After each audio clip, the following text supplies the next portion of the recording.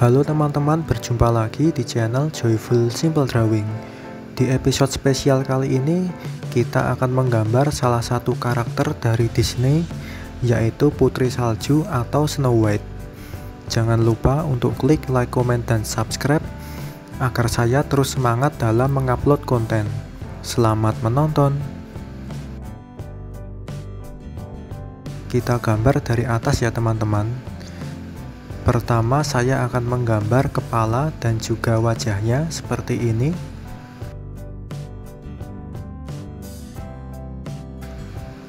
Kita gambar mirip seperti contoh. Terus dilanjutkan menggambar rambutnya. Ini putri saljunya rambutnya pendek ya teman-teman.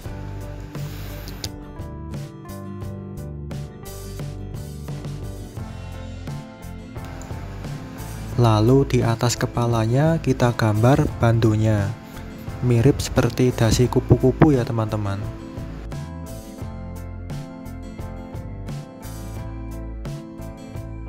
Jika sudah, kita akan menggambar mata dan juga alisnya.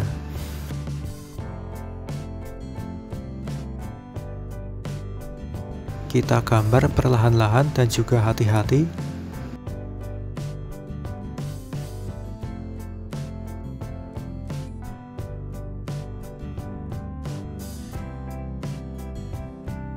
Tidak lupa kita gambar juga hidung dan juga mulutnya.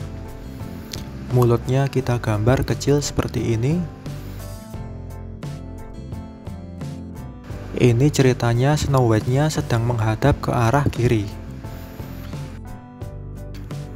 Oke teman-teman, ini dia kepalanya sudah jadi. Sekarang kita ke bawah, kita akan menggambar leher, kerah baju, dan juga lengannya.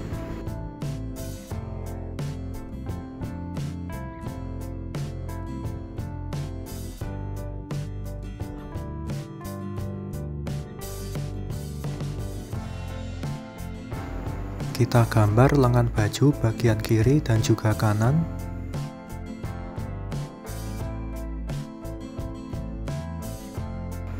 Terus di bagian lengannya kita tambahkan bulatan-bulatan seperti ini.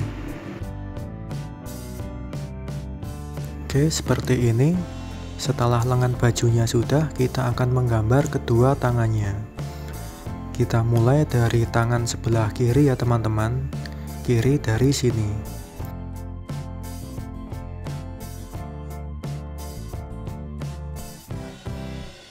Jika sudah kita gambar tangan yang satunya. Ini tangan satunya posenya sama ya teman-teman.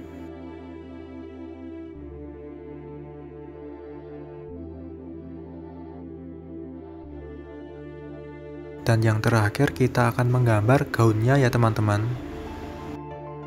Gaunnya kita gambar panjangnya segini kira-kira.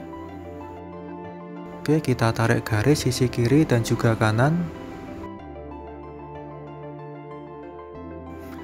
Setelah itu kita tambahkan garis-garis. Ini berfungsi untuk tekukan-tekukan gaunnya.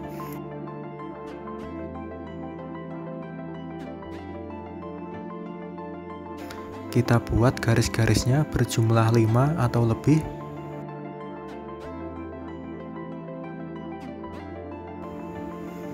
Oke kita tarik sampai ke bawah seperti ini. Kita satukan.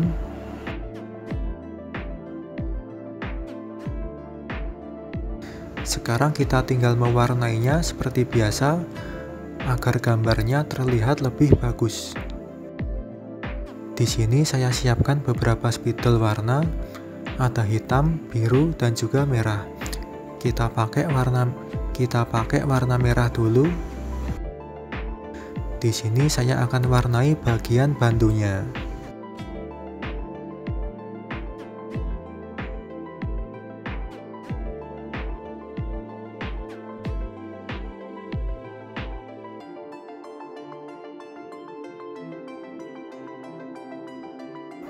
Oke, bantunya sudah jadi. Sekarang kita berganti ke bagian bibirnya.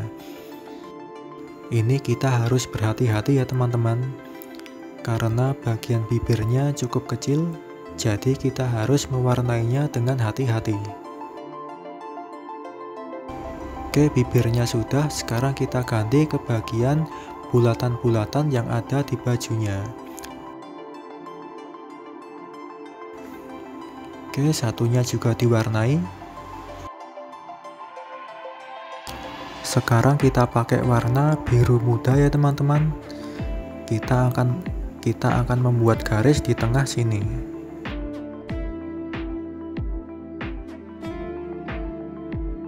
Setelah menggunakan spidol kecil, saya akan menggunakan spidol besar seperti ini. Saya akan hitamkan bagian rambutnya. Kita hitamkan secara merata sampai rambutnya benar-benar berwarna hitam.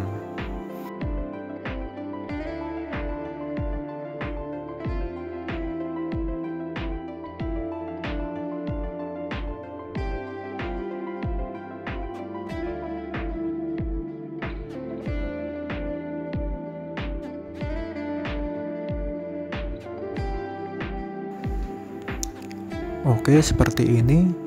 Sisanya saya akan menggunakan spidol kecil agar lebih mudah.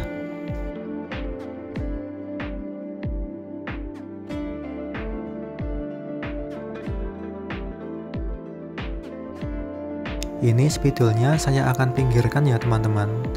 Sekarang kita akan beralih menggunakan oil pastel. Saya pakai warna putih. Saya goreskan di bagian pinggir-pinggir rambutnya. Oke, jika sudah kita gunakan jari untuk meratakannya. Sekarang untuk tangannya atau kulitnya, di sini saya pakai warna pale yellow ya teman-teman, atau kuning pucat. Kita goreskan mulai dari sini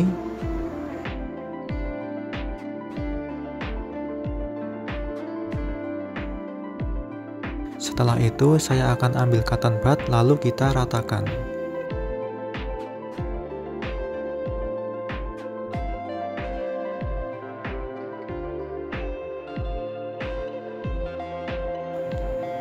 Oke, tangan yang kiri sudah jadi. Sekarang kita lanjut ke tangan yang satunya.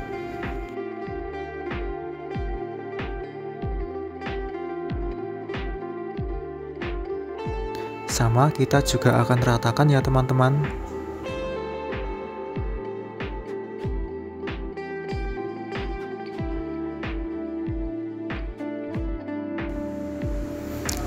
Oke, seperti ini sudah rata. Oke, kita warnai juga bagian leher dan juga wajahnya dengan warna pale yellow seperti ini.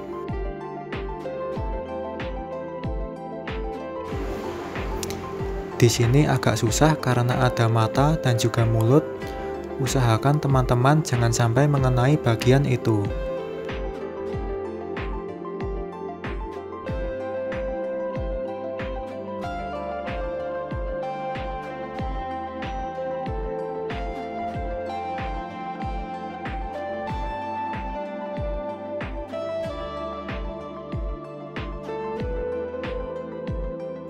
Kita tebalkan garis-garisnya yang tertutup oil pastel dengan spidol kecil.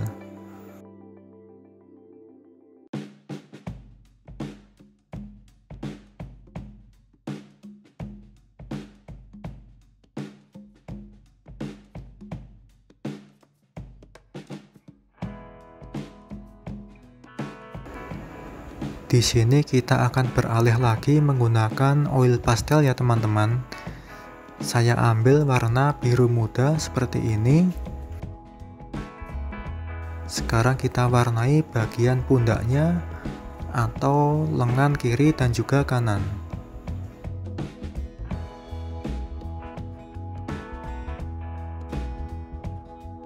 Kita rapikan lagi ya teman-teman.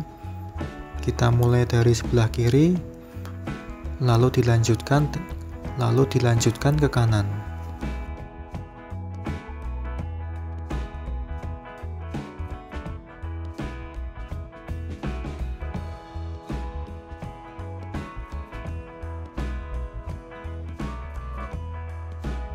Oke, kita ganti lagi dengan warna biru tua. Di sini saya akan mulai goreskan di bagian dadanya.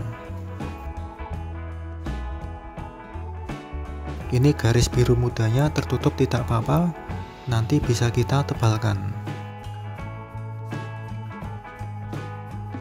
Oke, kita lanjut meratakan seperti biasa.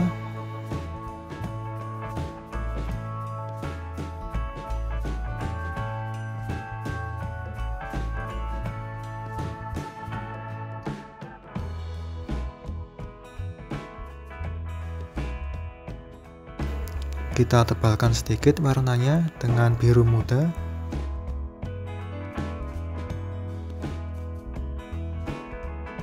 Oke, langkah terakhir kita akan warnai bagian gaun bawah dengan warna lemon yellow. Warnanya kira-kira seperti ini.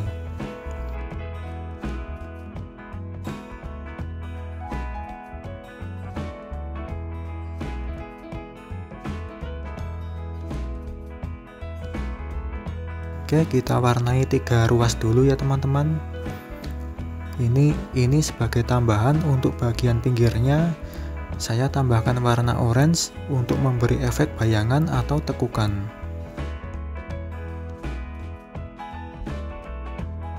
Sekarang kita ratakan menggunakan cotton bud ataupun jari.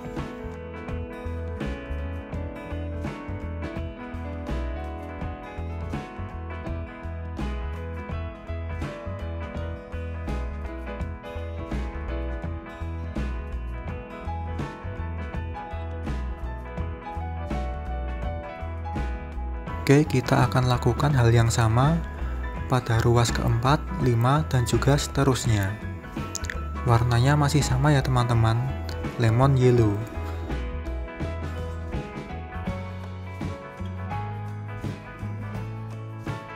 Oke, setelah itu kita bisa pakai jari untuk meratakannya. Di sini pakai di sini saya pakai jari agar lebih cepat.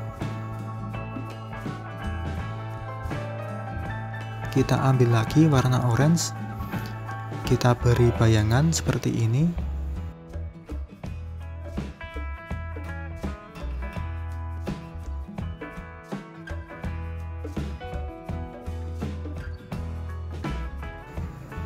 Gambarnya sudah hampir jadi dan sudah terlihat bagus. Kita teruskan saja sampai ruas-ruasnya tertutup semua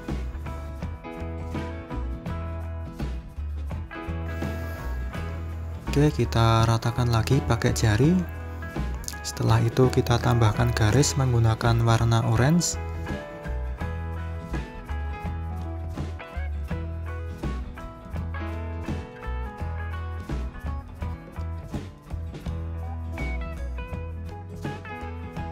Di sini teman-teman juga tidak harus menggunakan oil pastel, tapi juga bisa menggunakan krayon pensil warna, ataupun cat air.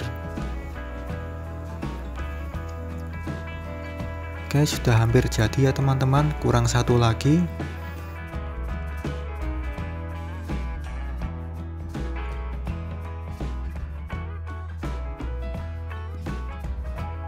Kalau teman-teman punya request silahkan tulis di komentar Nanti siapa tahu saya akan menggambarnya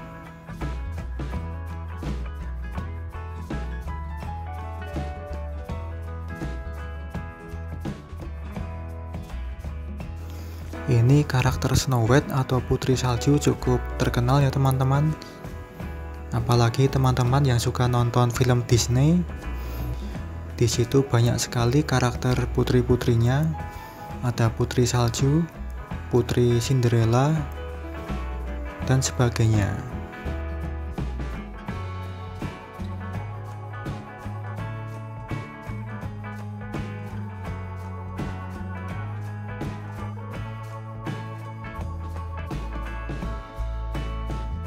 Oke teman-teman ini dia sudah jadi karakter putri salju dari Disney. Gambarnya seperti ini ya teman-teman. Saya akan dekatkan ke kamera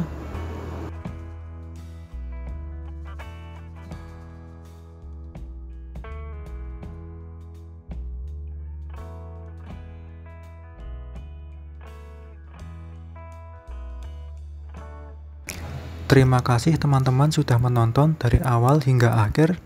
Semoga bermanfaat dan sampai jumpa di episode selanjutnya.